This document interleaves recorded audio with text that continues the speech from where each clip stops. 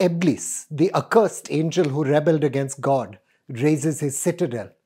From his cavern deep below the North Atlantic, the devil calls out to his armies using gravitational pulses. The subliminal code embedded in the Coca Cola logo tells the faithful that there is no Mecca nor Muhammad. Plagues caused by vaccine, climate manipulation, alien flying saucers.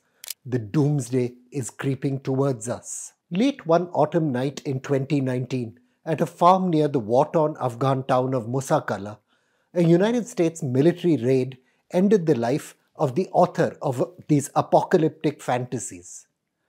To friends he'd played cricket with in the lanes of Sambhal in Uttar Pradesh, the slain man had been Sannu.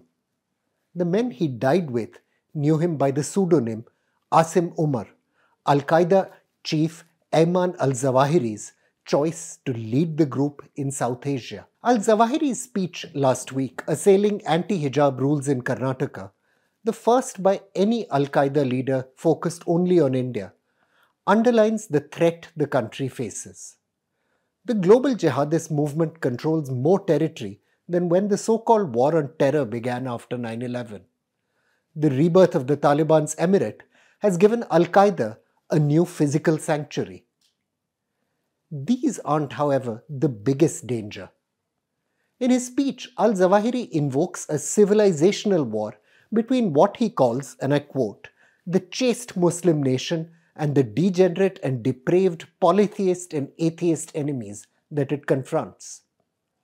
For decades, you see, Al Qaeda has fought not just on battlefields, but in culture wars, conflicts about democracy, the rights of women, and religious identity. India's charged debates on Islam and Muslims' fears for their future means opportunity for Al Qaeda. Al Zawahiri's arrival in Peshawar in 1980 as part of the thousand strong cohort of Arab jihadists who came to wage war against the Soviet Union was actually something of a homecoming. Abdul Wahab Azam, Al Zawahiri's grandfather, had served as Egypt's ambassador to Pakistan in 1954. Among other things, Azam had translated the poet Muhammad Iqbal into Arabic.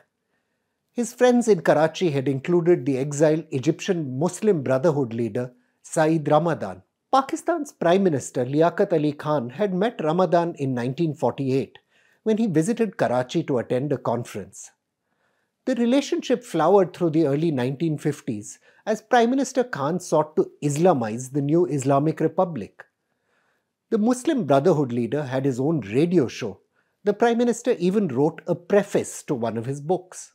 The relationships that grew in Karachi led to intense engagement between Islamists in Pakistan and West Asia. Through Ramadan, the Egyptian Islamist Sayyid Ibrahim Qutb discovered the work of the Jamaat-e-Islami ideologue Abul Ala Maududi.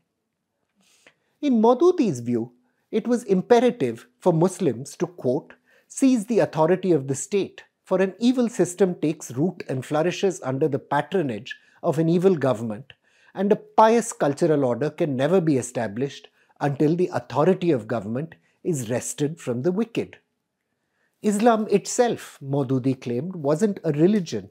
It was, I quote, a revolutionary ideology which seeks to alter the social order of the entire world and rebuild it. Through Qutb's work, Al Zawahiri and other Al Qaeda leaders like Osama bin Laden and Abdullah Azzam engaged with Maududi's ideas.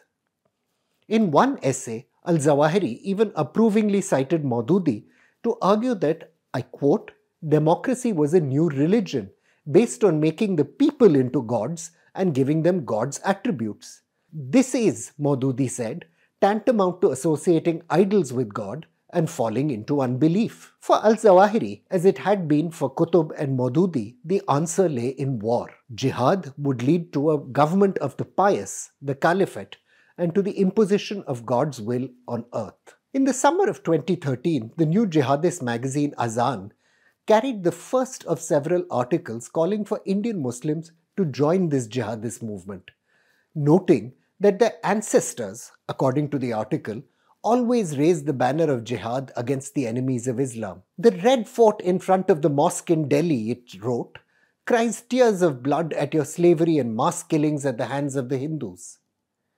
Instead of fighting back, the magazine lamented, young Muslims were, and I quote, wasting their time in marketplaces, parks, and sport fields. From the late 1980s, waves of communal violence had led to a growth in jihadist recruitment in India.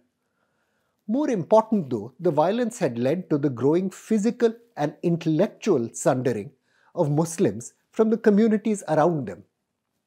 Inside these besieged communities, the questioning of secular democratic politics had grown. Educated at the Hind Inter College in Sambhal, the man who would become Al Qaeda's South Asia chief was the youngest of five siblings. Sanaul Haq, as Asim Umar's real name was, dropped out of school in the 8th grade and was sent to the Darul Uloom Seminary in Deoband. The violence of 1992-1993 appears to have led him towards jihadism.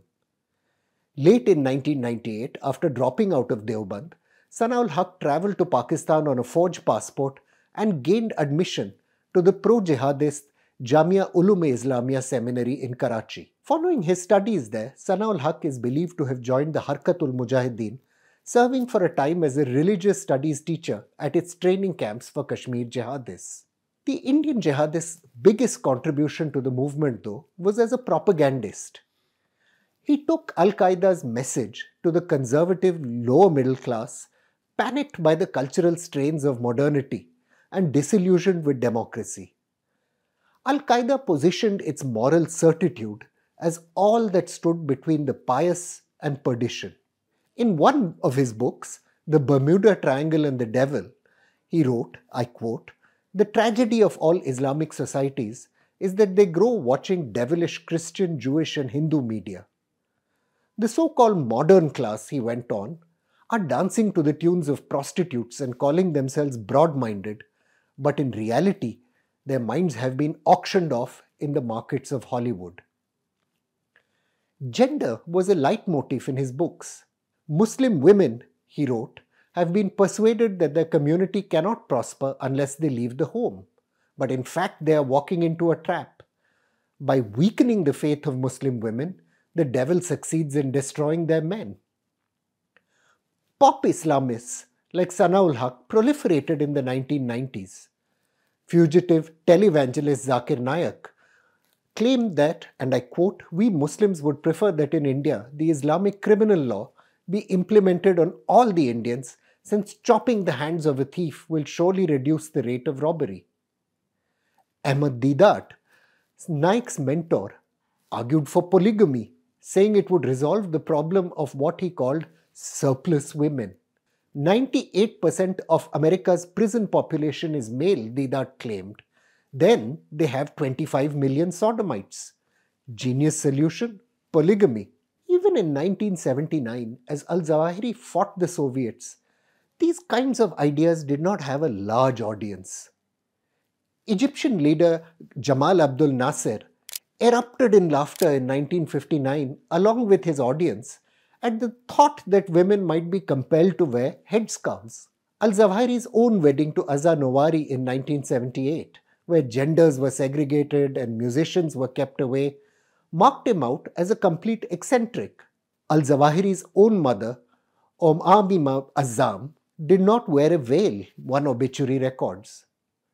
Mariam Jamila, a New York resident who lived in Maududi's home after converting to Islam, railed in a 1969 pamphlet for the hijab against Western values she alleged had unleashed, and I quote, an epidemic of crime, lawlessness, and universal indulgence in illicit sex.